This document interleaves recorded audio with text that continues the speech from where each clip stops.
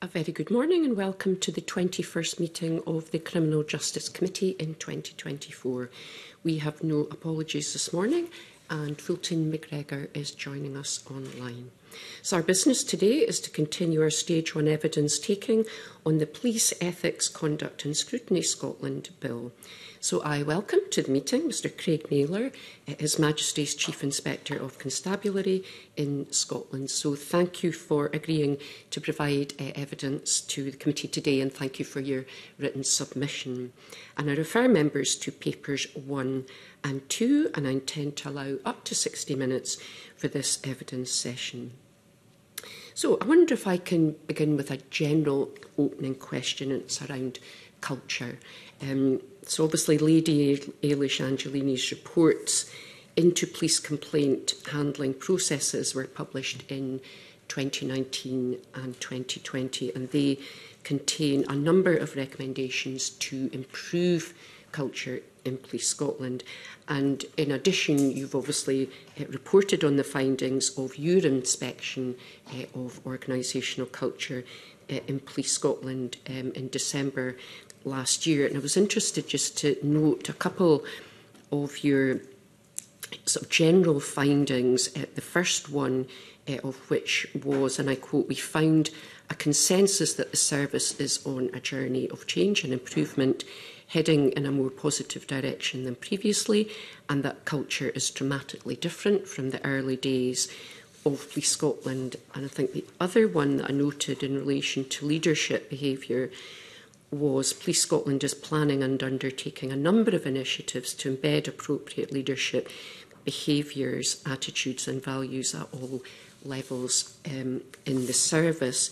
So I'm just interested in your opening thoughts uh, on the impact of the implementation of the recommendations that had been made and uh, sort of specifically around improvements that have perhaps already been uh, been made uh, and leadership um, and do you feel from the work that you've extensive work that you've done um, that they have provided the required culture change yet?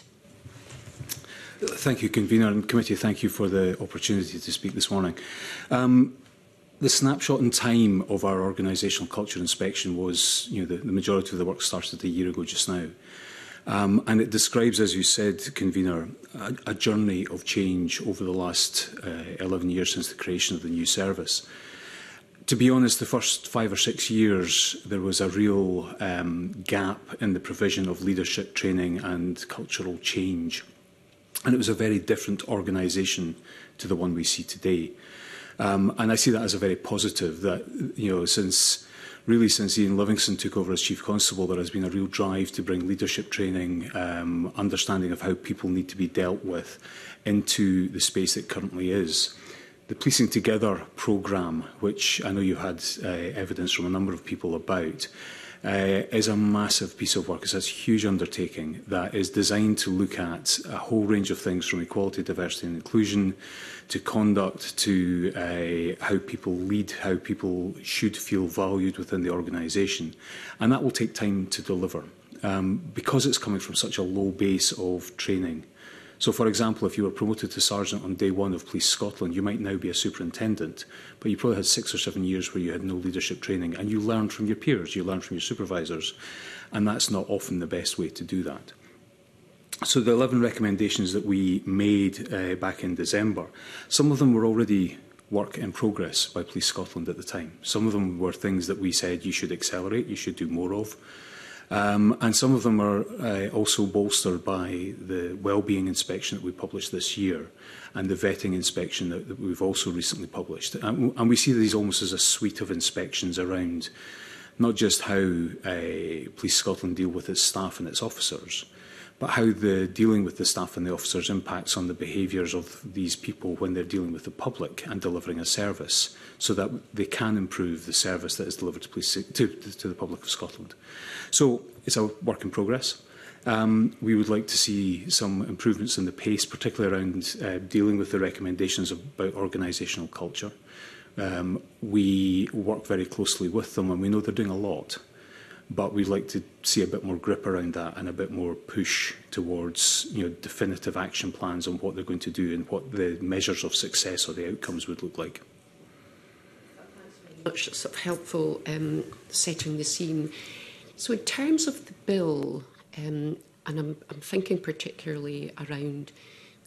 the duty of candour and the code of ethics, just to take two provisions that are included in the bill. Um, are you confident that the work that you've um, set out, um, comprehensively set out, will, um, so I suppose, the, in terms of the code of ethics and the duty of candour, will they support some of the delivery that you've, you've, you've just set out? Uh, yes, I, I am very um, encouraged by the, the bill and how it looks at the duty of candor mm -hmm. in particular. The Code of Ethics, I, I think it's good to have on a statutory footing what is expected of a police officer a member of police staff, and have no, no, no dubiety about that. The issue for me then is how that is used within the conduct process at some point in the future, and, and I think there's a wee bit of whether that becomes a regulation or whether that becomes practice within Police Scotland, I'm not quite sure, but we'll be looking to see how that progresses. I suppose the, the duty of candour bit, um, And I'm very aware of the, the, the, the case that really brought this into sharp focus. There is a real understanding across policing in Scotland that the majority of officers deliver a very high standard of policing. And, and I've, you know, I've worked in both Scotland and England, and I'm very proud that Police Scotland deliver to a very high standard. There are very few occasions where police officers don't provide a full written statement or police staff provide a full written statement about the matters they've dealt with. There are occasions, though, when there is confusion in a criminal matter as to the status of the individual. And the bill, I think, covers this well, that where it is clear that an individual is a witness in a criminal matter, then there should be a duty of candour that they should provide a statement as soon as reasonably practical to whether the park or whoever else is doing the investigation. So to be really clear, we see that as a, a very strong piece of the legislation. But we also see the need to have protections of people who are under criminal investigation as either suspects or accused persons, whether they are police officers, police staff or members of the public. That standard should not be dropped for any person, no matter the role that they, they take in it. And I think the legislation covers that well. Okay. Th th thank, thank you for that. Um, just, just one final question from me, uh, and then I'll open up to members. Um, just coming back to your thematic uh, inspection of organisational culture, you've stated that, and I quote, currently Scotland reporting to the SBA Conduct um, and Complaints Committee provides limited assurance uh, on the standards of integrity, ethics and values with a primary focus on complaints and conduct. So I just wondered, um, I'd be interested in your thoughts on, I suppose, what needs to be done to improve the sort of oversight arrangements or practice in, in this area by the SPA? We are due to publish a report on the SPA in the coming weeks, um, and it will describe a journey of improvement since 2019, since the last time we inspected them. Mm -hmm. um, where we regularly see areas for improvement around scrutiny is that sort of deep dive into things that then cross into other committee areas. And it'll be like yourselves, you know, you will be very focused on criminal justice, but there will be things about mental health that come into your purview as well. What we are saying in this is there is often an acceptance that when someone in a uniform with a lot of braid on their shoulders says something, it is believed. And that should be the case. Mm -hmm. But sometimes you need to ask that second question about getting the detail of what it is you're telling us and what it, mm-hmm. what it means. Because very often the clarity of what it means when something is explained yeah. is not clear. Part of that, I think, is down to the difficulties that Police Scotland have had with their uh, Centurion system mm -hmm. and the data that they can uh, produce from it, particularly around diversity. And part of that is um, people see complaints and conduct as a sort of secret area of business, and, and there should be safeguards and protections in there. But too often, people are not prepared to talk about the difficult questions. And I think bringing that transparency and openness into public debate in SPA committees and other places is something that will add to reassurance of the public that when a complaint is made and an officer is found to have misconducted themselves, that there are robust processes in place, and there are, Mhm. and that those processes deliver outcomes most of the time, and I mean a, a significant proportion of the time. Mm -hmm. It is the rare occasions which you've heard evidence from in this committee that are the ones that cause me concern, and you then link that to the occasional lack of transparency, and that's where the concern for me is. Yeah.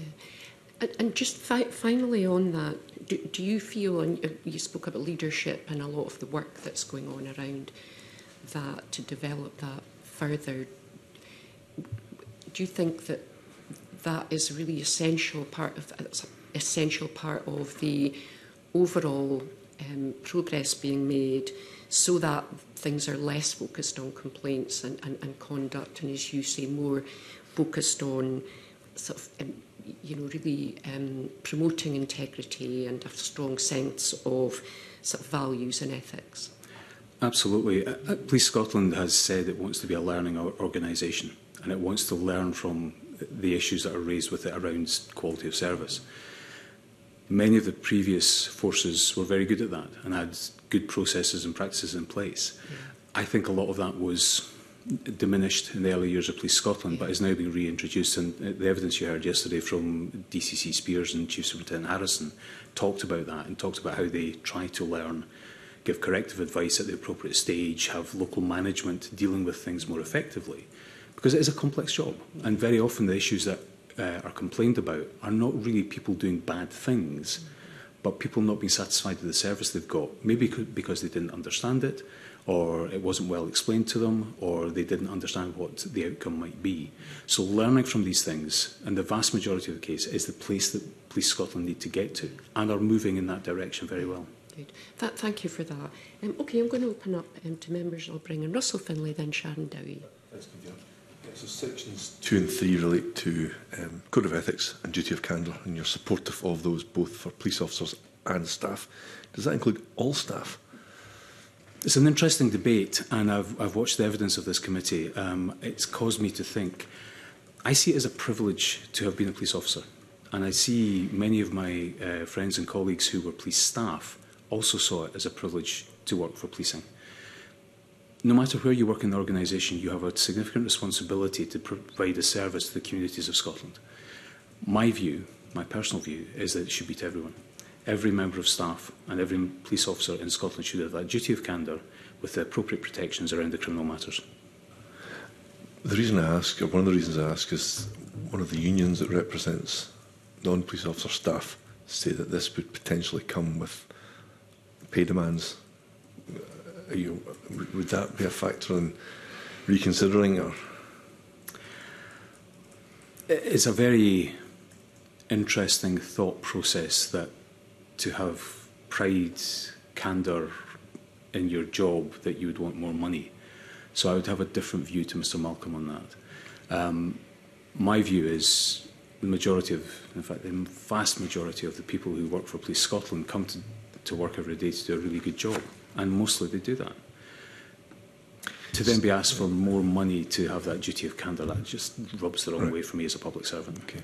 Now, section uh, six of the bill would uh, see the ability to continue uh, gross misconduct proceedings after someone had left the service. And again, you're supportive of that, but there's quite, I think, significant opposition to that from the representative bodies, which might be expected. But can you, having presumably been aware of their evidence, address that and explain why you think, on balance, it's the right thing.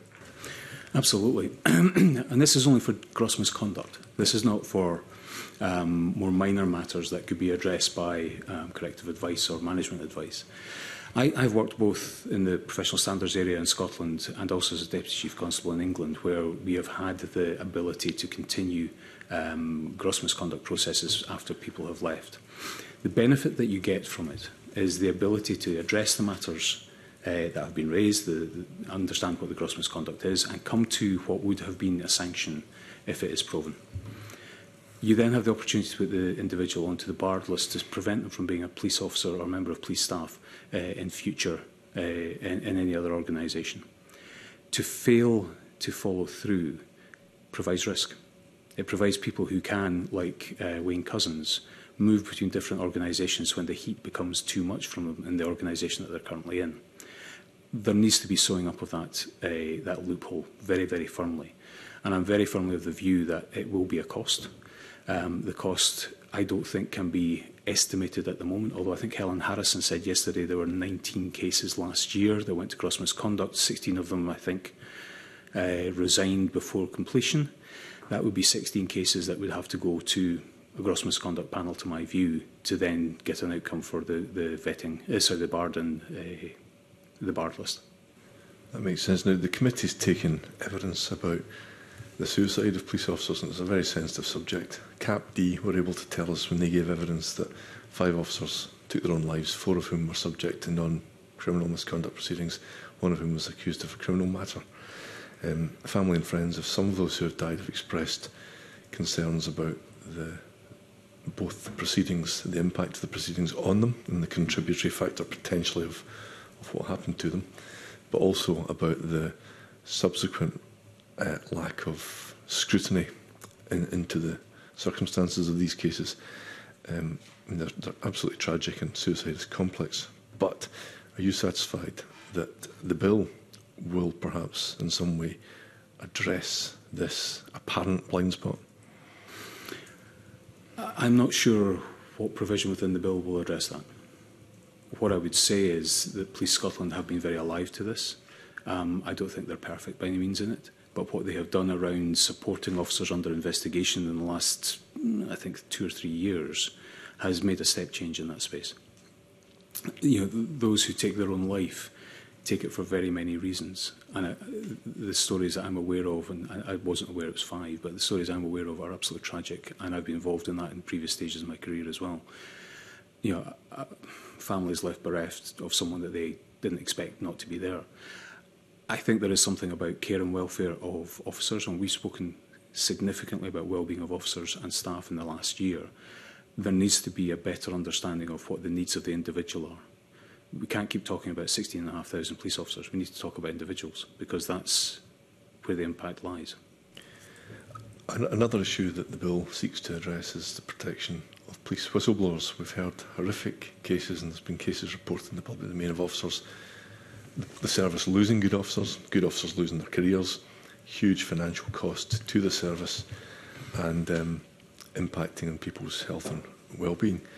Um, I just wonder whether again, taking the bill in the, in the round, there's enough in there that would give those officers who have done no wrong and have, whose only wrongdoing appears to have been trying to make a valid complaint or blow the whistle in some respect, being destroyed as a result. It, it, does the legislation part fix that, or is it more about culture?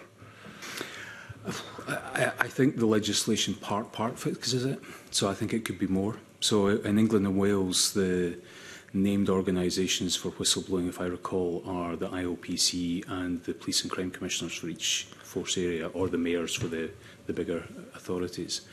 Um, the legislation, if I recall, proposes that PERC will become a designated body, and I think that is correct. But my view is to give parity with England and Wales that the Scottish Police Authority would also become uh, such a body. So to name them as part of the legislation would be sensible in my mind. So, uh, sorry to interrupt. So that would yeah. be to give an officer the option. The yeah. Right. Yeah. So okay. Uh, in England and Wales, um, if you're an officer and you wish to whistleblow, you can go to the IOPC, which is the English equivalent of PERC, yeah. or you can go to your police and crime commissioner, which is the, the, the governance body for the local force. We're not currently putting that in the legislation that the SBA, as that um, oversight body, would have that role my view, you need to give more options because there is, as with anybody, people will have views on how effective an organisation is, and it's better to give more options than less. So that might be a useful amendment potentially. Potentially, yeah, yes. Okay. Uh, because Section 10 of the bill allows uh, police officers acting as members of the public to go to park. Yes.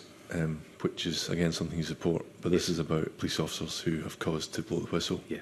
in relation to what's going on within the yeah. organisation. Okay. Uh, one quick final question, if that's okay. Um, in your supplementary letter to the committee, you support moves for the chief constable to be empowered to dismiss officers, um, give without sort of a big, long drawn out process. Um, I think you also say, let me just quickly find this. It suggests that Scottish Government are giving this some consideration Are, are, you in communication with them about that? Yeah. And do, do you, is there any likely movement on the on the bill? Do you think in that respect? I, I suspect you might have better intelligence than I do on that. Uh, um, um, is it worth me just explaining my reasonings and rationale behind yeah, yeah. that and, uh -huh. and the uh-huh. sort of purpose? Uh, this is not a, a blank canvas for the Chief Constable to dismiss people who can't sustain their vetting. Uh, there needs to be some form of provision that allows the Chief Constable to have a process in place that says if you cannot sustain the very basic level of recruitment vetting and we give you advice, support and help to do so and you re either refuse or are unable to do so, then the Chief Constable should not have to bear the risk of that individual staying within the organisation. We've raised this in the vetting report that we published last year. We've raised it with the build team now for well over a year, since before the um, stage one process. Um, and we see this as absolutely fundamental to the safety and security of the organisation. Now, it's a very small number we're talking about, and I know Alan Spears mentioned yesterday the data wash and uh, a small number of vetting issues to be dealt with. Currently, the Chief Constable cannot and has no route to dismiss or get rid of someone who cannot sustain their vetting. I should perhaps know this, or maybe it wasn't asked of the police witnesses yesterday, but do they support this, as far yes. as you know? They well, do. as far as I'm aware, ah, yes. Right, so watch so, this space. So watch this space. We have had several meetings with Scottish Government legal departments, with the Bill team and others to explain our position, to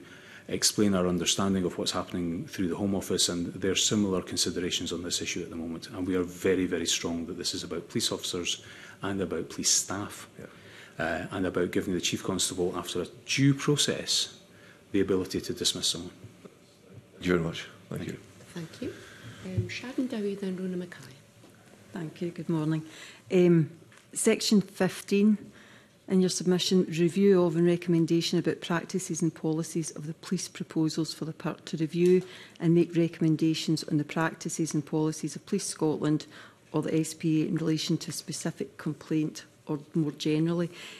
HMICS does not support that, but PERC does seem to support it. So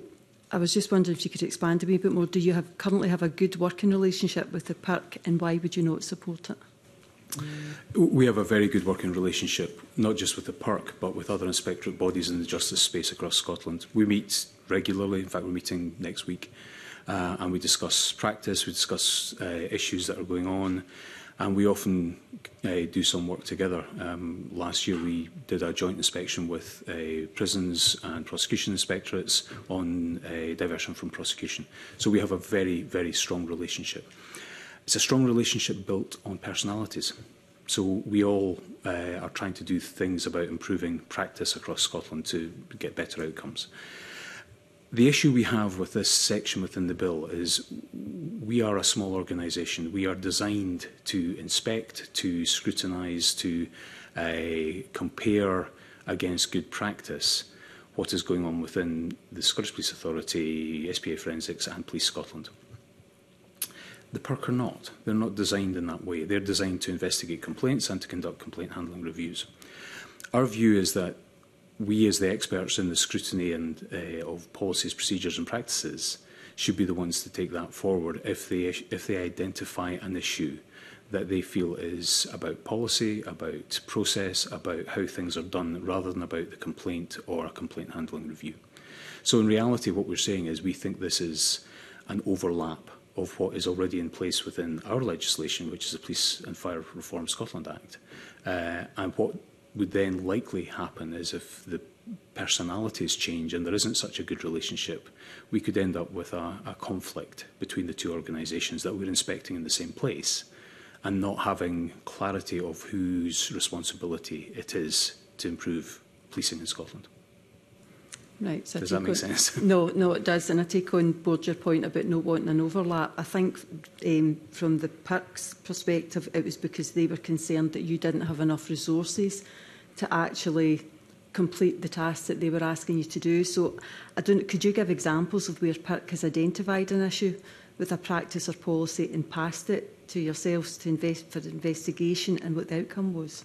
We've, in the two years I've been in post, we've not had anything passed to us from PIRC that they asked us to look at. So in two years, they've never given you any policies or procedures or anything nope. to go in and do an investigation on? Nope and we are about to go into the process to consult on our next uh, scrutiny plan, which is a three-year plan which will be published next April. So we will be consulting with PERC, with Crown Office, with others about where they see us needing to inspect.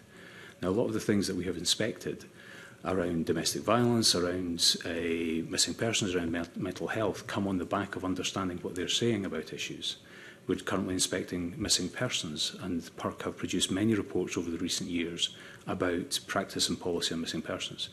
We've identified that following consultation with them, but they've not passed us a task that says, here's an issue that we want you to go and look at. and I suppose the question I'd also ask is, do park have that capability just now and the resource to conduct uh, reviews into policy and procedures mm. uh, when they are busier than they've ever been? Yeah, so it's a question why they would think you wouldn't have enough resources to do it when they've never actually asked you to look at any processes, but that's not a question for you. Um, on the, is your memorandum of understanding still up to date? Um, and I'm asking because when I, the, the most recent one that I can find says it's dated in the front October 2017, but it's signed at the back 11th of January 2019, which is five years ago, but it says it's bi biennial, which is every two years. So is, is that needing to get updated as well? I would probably have to go and look at that um, and come back to you if that's okay. Yeah, no, no problem. Um, Another question. So your letter to the committee states that it takes far too long for the criminal justice organisations to investigate criminal complaints or conduct, conduct matters, leaving those who report them and those subject to investigation with unresolved matters for far too long. And you've also said that there's a general lack of pace applied to the investigations, but probably more importantly, the decision making around these cases. Do you think the bill does anything or does enough to rectify this? I think the difficulty we have is, and I, I don't think the bill addresses this bit, the, when something is a criminal matter and is subject to a criminal investigation that is then reported to uh, CAPD and COPFS, um, nothing else happens in terms of the conduct matters during that period of time. I, uh, you know, I go back to when I was head of professional standards in Lothing Borders Police, and we had many conversations with CAPD at that time, or the predecessor to CAPD, about trying to find different ways to parallel track misconduct and criminal matters so that you could be in a position to take action far earlier.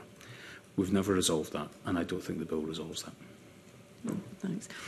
We heard yesterday and we've heard in previous evidence that secondary legislation in the bill was needed urgently to address some shortfalls. Do you think that this needs to be looked urgently and brought in the face of the bill if it's to have any meaningful impact?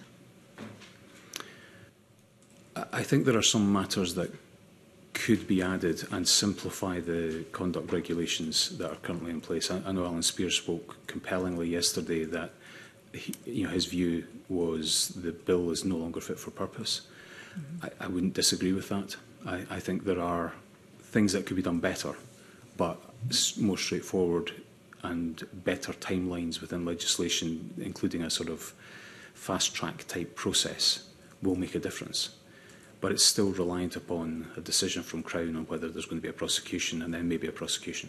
So there, there are still blockages there and time delays. People don't want to wait for three, four, five, six years to get an outcome from a complaint they've made. One of the things that was mentioned was that when it's a police officer that gets suspended and it's gross misconduct, they've actually got to wait until the criminal case is concluded, yep. until you can actually dismiss them. Is that something that can be addressed in this bill, or is that... a bigger problem? I think it's a bigger problem, and it's not one I would say that I am competent to answer, because that would be something for the Lord Advocate and the Crown Office and Procurator Fiscal Service to consider.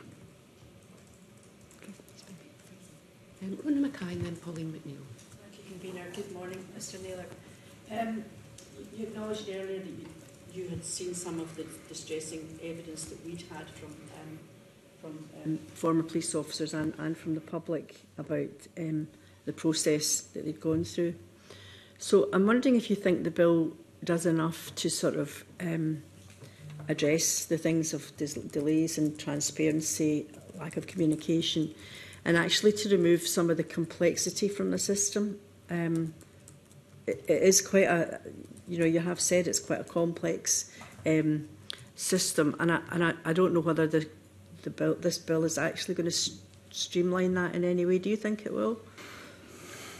I, I'm not sure, to be honest. Mm -hmm. I think there are efforts within the bill that will do it, but I think there is greater focus on transparency and outcomes and communication, and I think that will be a positive. But I don't think it will give the speeding up that I would like to see, if that makes sense. And are you, are you confident that the communication, transparency, etc., will be much better going forward than it has been over the past few years. I, I think the bill gives that opportunity. And you know, certainly the evidence I saw yesterday from uh, DCC Spears is that that will be taken forward. And you know, they've already started publishing uh, outcomes of gross misconduct hearings. Um, I'm used to a system in England and Wales where we have public misconduct hearings, gross misconduct uh-huh. hearings, uh -huh. and publish in the press the outcomes. I think that... Is that something you prefer? Absolutely. Right. Absolutely. It is difficult. I know the Federation have got a very different view on that. Yeah. But my view is this is about transparency, this is about assurance for the communities that we serve, that when something is goes wrong and it is of a gross misconduct standard, that action is taken and is seen to be taken. Mm -hmm the, the really interesting thing, I thought there'd be huge queues of people waiting to get into my headquarters building to watch these. You get maybe two journalists, you know, Associated Press and one other, mm. who mm-hmm. come to see these things. Um, but the important thing for me is it is available, it is public, it is then published in mm -hmm. local local press. Yeah, and the, the proposals around um, um, ethics and, and, and duty of candour. Do, do you think that will um, change the perceived culture or the culture that's been described as from former chief, uh, chief constable um, and the current chief constable um, as discriminatory and, and uh, racist, misogynistic. Do you think that the things will really change because of what's in the bill? I, I see it as a, almost a thread within a bigger rope of change that is ongoing, but a very crucial thread. I think that duty of candor, that expectation that you meet every day of the week, the code of ethics uh, is something that has got to be really clear, has got to be communicated regularly to police officers across and staff across Scotland. And there are, you know, there are exceptional times when we've seen that happen. You know, the, the, fun the funeral of Her Majesty the Queen, the, the performance of Police Scotland, the ethics displayed, the integrity of the officers was exceptional, much different to what we saw elsewhere. And the bit for me is how do you make that a daily occurrence that everyone is operating to that standard every day of the year? Now, you can't guarantee 100%, but what you can do is the high proportion that you have just now, you just encourage that and you support the whistleblowing, you support people taking action against things they see that are wrong, and you give them that code of ethics to rely upon and a duty of candour when, when things are really difficult, that they know what they're entitled to, they know what they're expected to do, and that will clarify, to my mind, many of the issues that have been faced over recent years. And uh, my final question, and this is probably a bit, um, a bit vague, but is, is there any key thing you think should be in the bill that, that isn't in the bill? Is there anything you think we're missing? Uh, the one bit is about vetting and the Chief Constable's capability to dismiss people who can't sustain their vetting. Um, we've talked about that consistently. That's one of the reasons I was really keen to speak here today, mm -hmm. is to, to reinforce that point.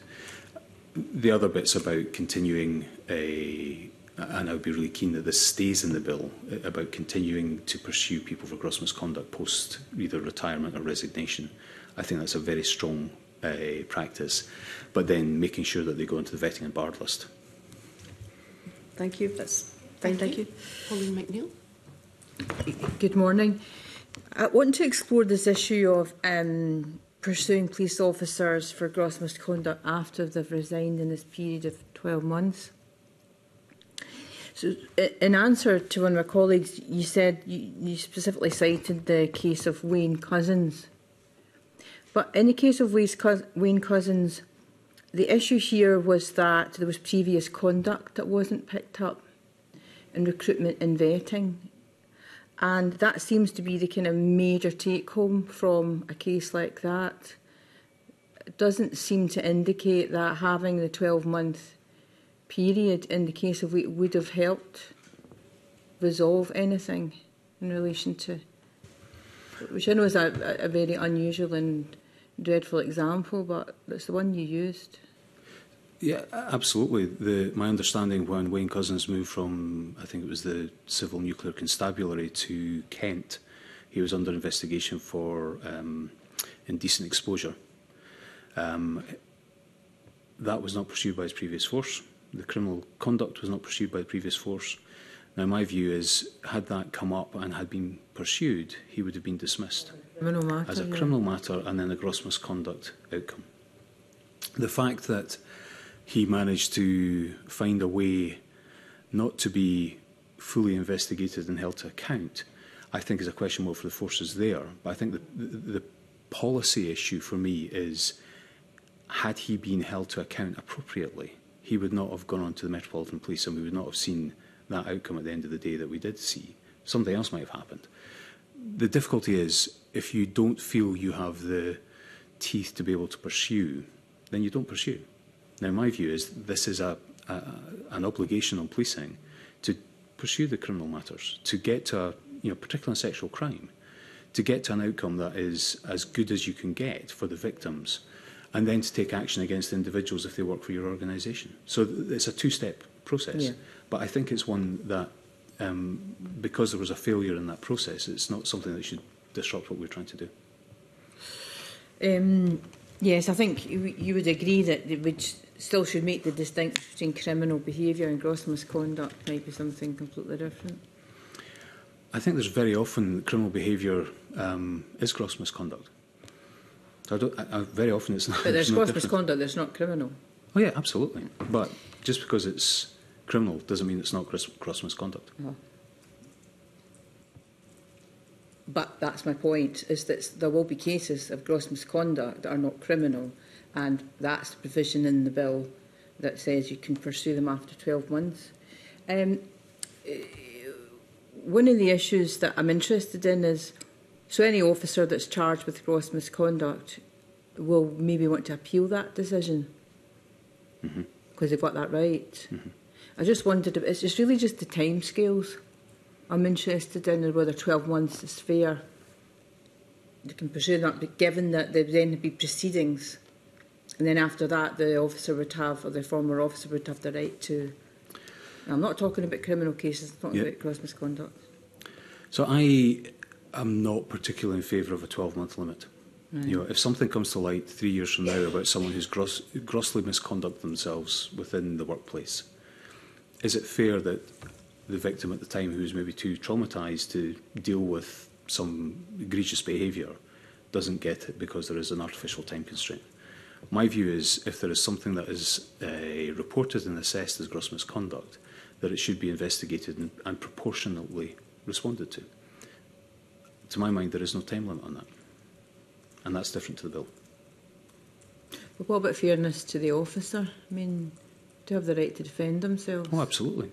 But so you would you, you would just have an open-ended time time limit. But having an open-ended time limit doesn't give them doesn't remove their opportunity to defend themselves. But you could have established another. You don't, don't think you should have a time limit at all. No. Interesting. Um, Maybe I could draw a parallel with the, the inquiry into the post office situation going on just now if there was a time limit in that, we wouldn't have heard the evidence from Paula Venables. But they're criminal cases? Not yet. The allegations against Paula Venables and others are not criminal cases. This is a public inquiry. And if it was 12 months about gross misconduct, we wouldn't have heard her evidence yesterday. Okay. Um, can I ask you about um, the, the bits of the bill that you don't support? Um, that is that because you think it works better having this joint role between PERC and HMICS? Absolutely. And you've got the expertise? We've got the expertise. We've worked very hard to get accreditation and EFQM, which is the, mm -hmm. the mm-hmm. business excellence model. Um, PERC are very good, and as I say, we work very closely with Michelle and her team. We, we see them as exceptional what they do, um, but they have not developed and they've not had the need to develop mm -hmm. capability in what we do. So we see this as duplication in reality. Um, I think if Park were to take this on, they would need to grow. They would need to have resource to do it. Mm -hmm. So if Park uh, get this, then they will see an increase. I think it would be an increase that steps into our territory, and I think we are better suited and better placed mm -hmm. to deliver that. Um, I suppose the question that I would like to understand is who oversees both organisations and how they deliver these practices if the bill is, is mm-hmm. enacted mm -hmm. as is. Yeah. Great, thank you very much. No thank you. Okay, thank you. Um, I wonder if I can maybe um, come to um, the proposal in the bill around calling in complaints, um, and, and that would be something that Park would would, would do in certain circumstances. And and your in your submission. Um, you're supportive of that sort of statutory power to take over an investigation if it's deemed to be necessary. I just wonder if you can maybe just outline your thinking behind that and why you're supportive of it. And, and it was just something that was very strongly um, uh, referenced by the SPA yesterday in, in their evidence session. Yeah, I, I think it's that very low number of cases, mm -hmm. but of those that are either significantly complex or significantly difficult to get to an outcome, that greater transparency, greater external scrutiny uh, would be of benefit to the outcome that's been delivered. So I, I don't see it as a power that would be used terribly often. No. Uh, but that is one that could be relied upon by both the SPA, the Park and by Police Scotland to, to show that transparency, to show that improved outcomes for victims uh, and people who make complaints mm -hmm. uh, is the primary driver here rather than anything else. Mm -hmm. Th th thanks for that. And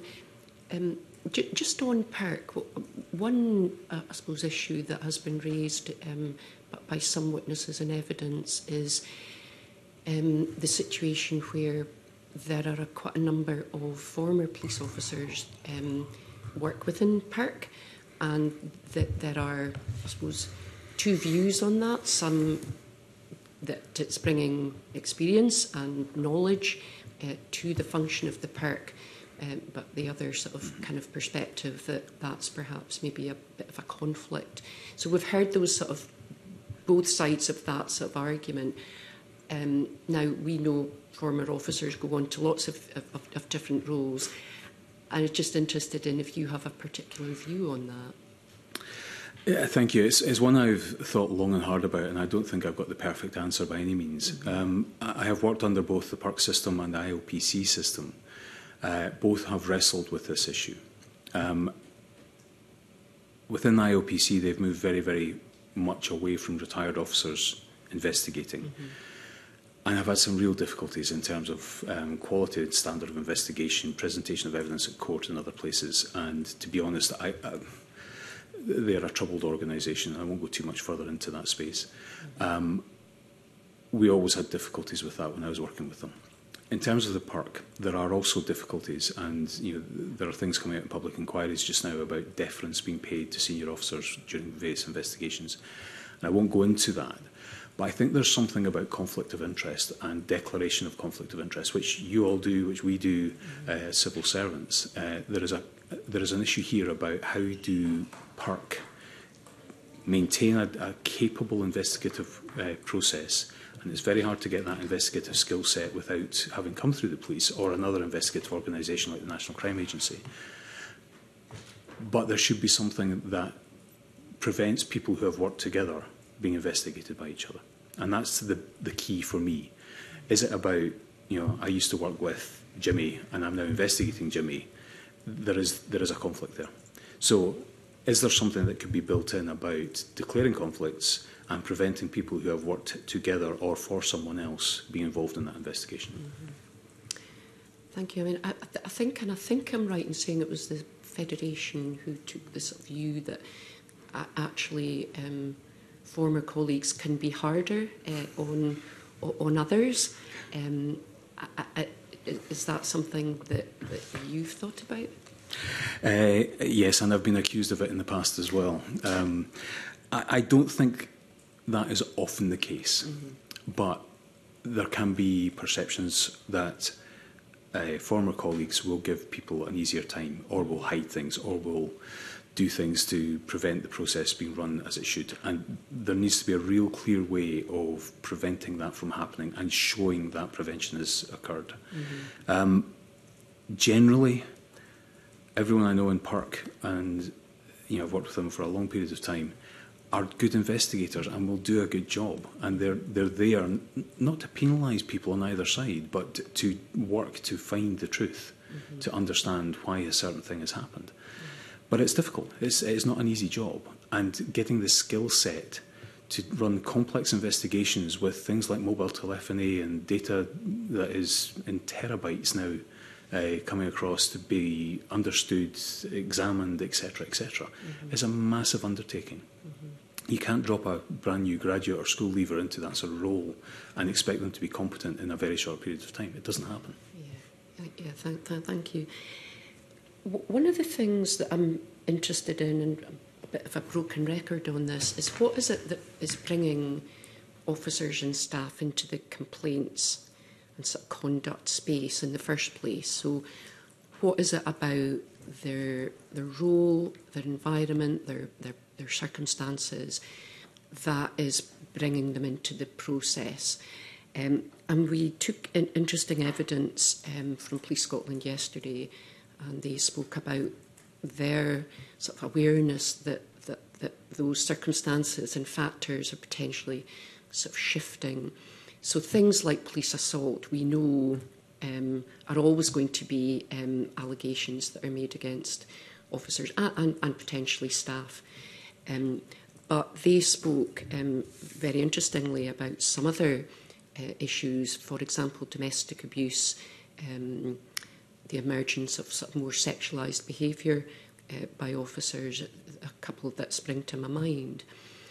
So I'm really interested in what it is about um, what, what sits in behind officers coming uh, to, to, to attention in, in, in this space. And I'm interested in if, if that is something that you've come across. You've done so many inspections, um, for example, around mental health. Is, is that something that you've looked at at all in, in, in just generally in, in your work?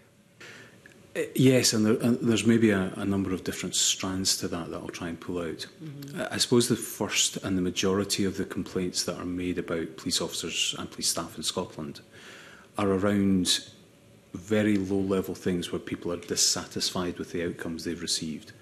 And the frontline resolution team that was talked about yesterday uh, are the ones to go on and, and try and do a couple of things. One is to say sorry that you didn't get the outcome that you wanted. And two is to explain why that is the case. And generally that is uh, a dissatisfaction level, but at a relatively low level. And I'm sounding like I'm dis dismissing it. I'm not. It's people's experience of the police, mm -hmm. and it's, it should be better than that. But of the six and a half thousand complaints they get a year, the majority will be in that sort of space. And it's very often easily explained and easily rationalised out to the individual um, through someone who's looked at the case and looked at the entirety of the circumstances, going back and explaining what is the law, what is the policy, what is the procedure, and what is you know, a, a bit of an apology to say we didn't do the best here and we're really sorry about that. Mm-hmm. That's a big chunk. That's the, that's the vast majority of the things that they will deal with. In terms of assaults and excessive force, I know that there was a discussion yesterday about excessive force versus assault and what is, what is the difference. The big difference is that excessive force is not really criminal. It's someone saying, my handcuffs were too tight. Assault is something that is more of a deliberate act, a mens rea. You have done something to me that was deliberate. So you've pushed me or you've thrown me in a cage in the back of a van so hard that I banged my head. You know, so things, and there is a, there is a nuance there, yeah. and it is a very difficult nuance to, mm. to draw. And I know there's a lot of work done between the assessment unit within uh, professional standards to understand the difference between almost that criminal element and the non-criminal element. So mm someone being dissatisfied that their cuffs were tight mm -hmm. isn't really an assault, whereas someone who's had their cuffs put on so tight yeah. and it is obvious, then it is an assault. And, and that is, again, a quite a large volume of work. And I know the Park are now seeing an awful lot more of that. And as I think uh, Alan Spear said yesterday, the majority of those now go to the Park for initial assessment. Mm. And my understanding of the evidence from Michelle MacLeod was the majority of the ones that they get from Police Scotland are not investigated because they're seen as uh, excessive force, so they're not investigated as a criminal matter. In terms of the the really difficult areas, so the sexual behaviour, the domestic abuse, we are we did an inspection of domestic abuse in general terms uh, about two years ago and looking at how Police Scotland responded to domestic abuse. It was fascinating because at the high end of the market, so the, the really um, long-term uh, abusers who commit sexual crime against their partners and who have got serial partners uh, abused, Police Scotland are exceptional at how they deal with that. Where Police Scotland are less good is the the first time report, the person who comes forward and says, I was beaten up last night, or I have had my phone taken off me, or my bank account's been seized by my partner, they're not as good there as they want to be or as we would like them to be. Mm -hmm. How that transpires then into uh, those officers or staff who conduct that behaviour is something that we will be looking at. I think it's uh, the timings are not yet defined, but from I think the end of this year, mm -hmm. we will be doing what's called domestic abuse phase two. And we will look at how Police Scotland uh, deal with those officers and staff who commit offences against uh, individuals while they are serving member of staff or officer, and how Police Scotland deals with staff or officers who are victims. So two sides of a very difficult coin to deal with. Um, it is a complex area of business, but it's something that I know Police Scotland are thinking very hard on and are trying to do better than they have done in the past to better understand what a victim needs uh, from both an employer's perspective but also from a criminal justice perspective. And sometimes you've got to divorce those quite separately to give the person what they need. Yeah. In terms of the, the more sexualised behaviour, um, I know that the complexity of investigations that Police Scotland PST department does is growing. And uh, as Lady Eilish Angelini said last week to you, these are complex matters and take many, many months, if not years, to investigate fully, to go through the data, to understand the evidence, and to take forward to either a criminal case or a gross misconduct case. Do I think that's growing? I, I suspect it is. I don't have the figures at my fingertips. But what I do see is a greater, uh, an organisation that has got a real drive to address these issues and is trying its best to reassure its staff and the public that it will address those matters very effectively. Mm -hmm. There are terrible cases that we hear of, but I think they're doing their best to be better at doing that. Mm -hmm. Th thanks. Um, that, that, that's very, very interesting and, and, and good to hear that, that, that, that you've got some work planned around domestic abuse later on in, in the year. I don't know if Rona Mackay, you want to ask a follow-up on that? It's and just then that, exactly. I'll bring in Sharon yeah. Dewey and then Russell. It was just exactly mm -hmm. that. Um, um, Mr Naylor, that was really interesting. I wonder if you could expand a wee bit on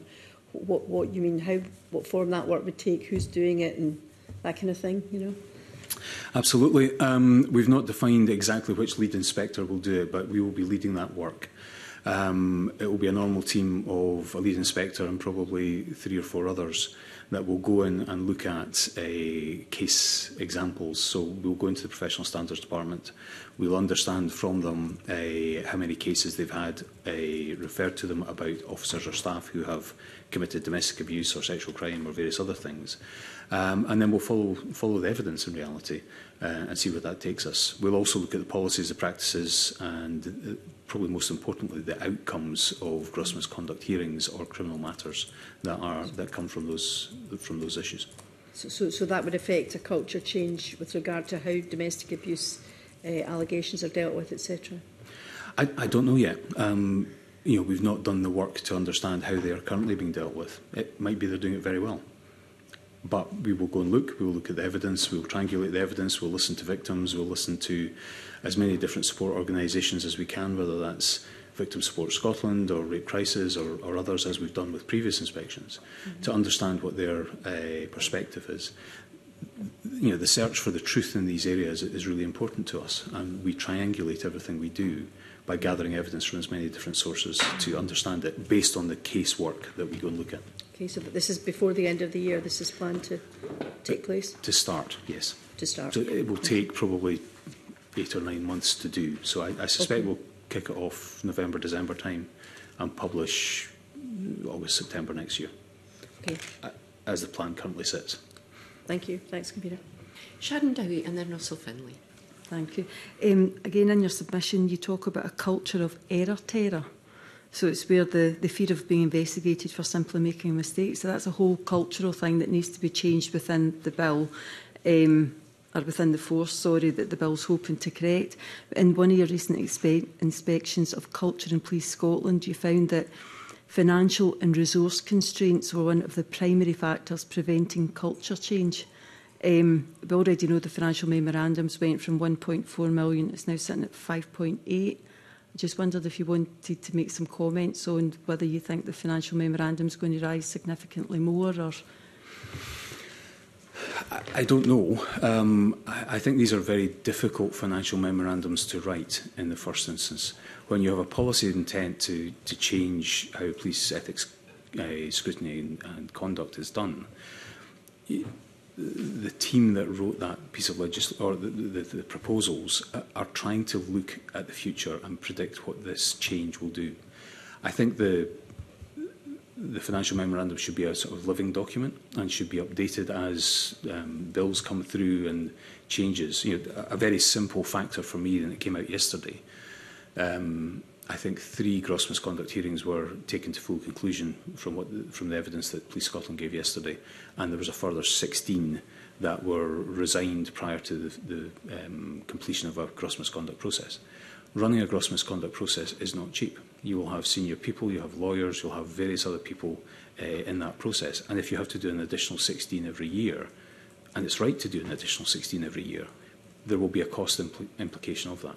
Now, understanding that and then extrapolating that to what does the cost mean to the public purse is something I think should be continued as, as the bill progresses. So do you think the financial memorandum as it stands just now is realistic? At one point, whatever, no. No, so you think it, it will rise? I'm, I'm, I'm sure it will. Right, okay. Um, in the same inspection, you noted that Police Scotland's now inhibited from operating effectively by the level of internal governance it's applying to compensate for a lack of individual accountability. So again, that needs to be corrected for us to have the aims in the bill that we want. So do you think that's addressed in the bill? Uh, uh the governance we're talking about in that space is around the, how the force is run and managed. Um, I know the new Chief Constable has come in and done a lot of work and is uh, in the process of uh, trying to change that whole internal governance structure. We're very supportive of that because you know, what we described in this is papers being read at so many different subcommittees before eventually a senior committee takes a decision on it, when in reality, uh, you know, it could have been a decision could have been taken at a much lower level and progress could be made much quicker. Um, Chief Constable is very aware of that. She is working very hard to do it. And I've spoken with the Director of Strategy and Performance and various others around this process. And they will do that. I'm less sure the bill has got a, a role in that. I think this is about the good governance and management of the organisation. So that's a process within Police Scotland yes. that needs to be fixed? Yeah. And is being improved as we speak. Okay. Thanks. Thank you. And Russell Finlay. Yeah, thanks so much. I was just picking up on something that you'd spoken to Pauline McNeill about, Section 15, and giving PERC the power to review Police Scotland and the SPA's work.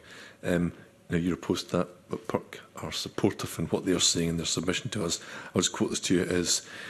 There have been occasions where, at the conclusion of investigations, matters have been highlighted to HMICS for review. However, due to capacity, they've not been able, sorry, they've not been in a position to undertake same.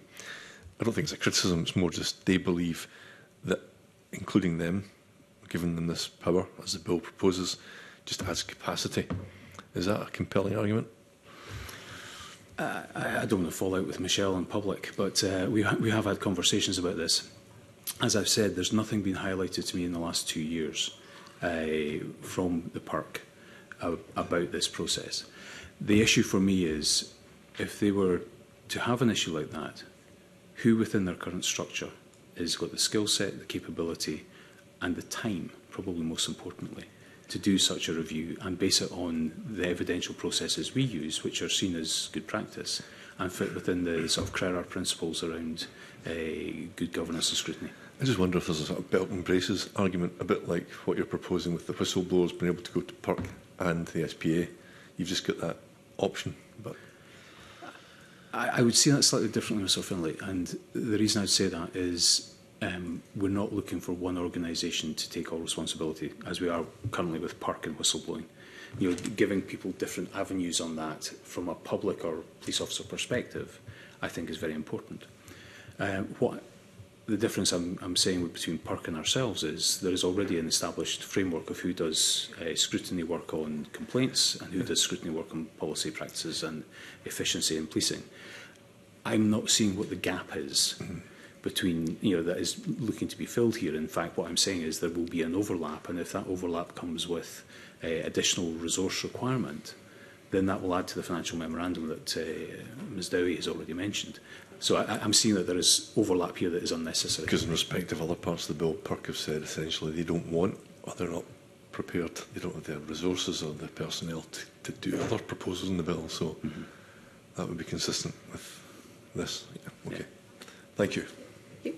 Um, we're just kind of up to time, but I wonder if I can come in with one final question. Um, and it relates to the provision in the bill um, regarding public hearings, so um, hearings relating to gross misconduct being held in public.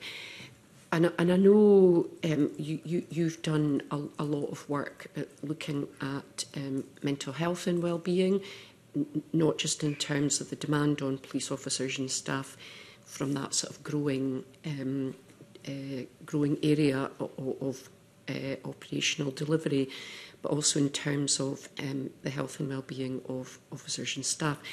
And I'd be interested in your views on, you know, should that provision be enacted, what needs to be put in place um, to make sure that the mental well-being uh, of those involved is um, is considered and, and prioritised?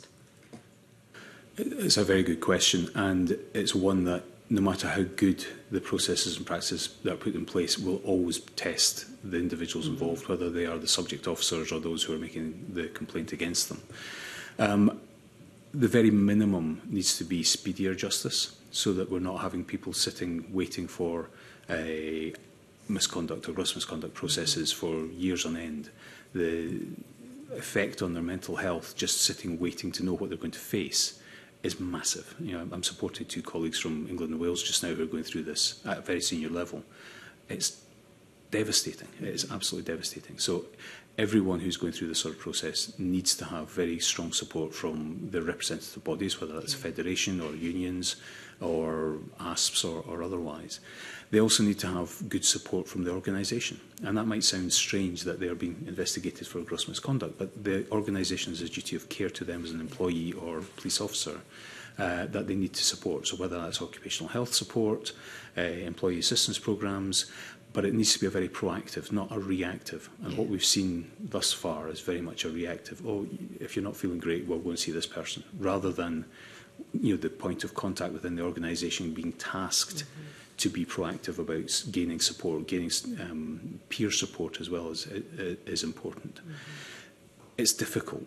But then when you get to the, the final stages, you need to be really clear. You need to have very good communication. And that very good communication needs to be disclosure of documents at an appropriate stage so that you can prepare your defence. And, and that timely defence is really important that when you do understand what you're facing, that you have the opportunity to gather from the systems within the organisation whatever material you need to, to provide that defence. Mm -hmm. And sometimes that can be difficult if you're suspended, for example. Mm -hmm. So I suppose finally, just a, follow-up to that, um, you know, notwithstanding the, the, the, the timescales potentially involved where there is a criminal case followed by a misconduct process, do you think the bill goes far enough? I know it's quite a big question to address the issue of timescales, which comes up all the time, in, in, in both generally and obviously in terms of com complaints and, and, and conduct processes, but in the context of the bill too. I don't think I've got an answer to that, convener, and it's something I've wrestled with. Um, Lady Angelini, I think, addressed this to you last week about the complexity of the matters that are often under investigation, and putting a timescale on them becomes artificial, and you know you then lose the quality of the uh, investigation, you lose the capacity to deal with things effectively. But at the same time, what we're doing just now is not sustainable. So for me, I don't think the bill is as tight on this as it could be, but I'm maybe not too concerned about that yeah. um, because of the complexity. And if you lose the complexity and providing fully uh, run investigations that look at both the um, evidence against the individual and the evidence that supports the individual, yeah. you then you don't have justice. Um, and the bit for me is justice delayed is often seen as justice denied. But I'd much rather see a delayed justice that balances both sides than getting to a point too early when you only see the prosecution side. And I've seen that very often in England and Wales. Yeah, th thank you for that. That, that. That's very helpful. Okay, that just brings us a wee bit over time. Um, I'm going to finish things there. Thank you very much indeed. That's been a really informative session uh, this morning. Thank you for your time. Uh, and with that, we'll move into private session. Thank you.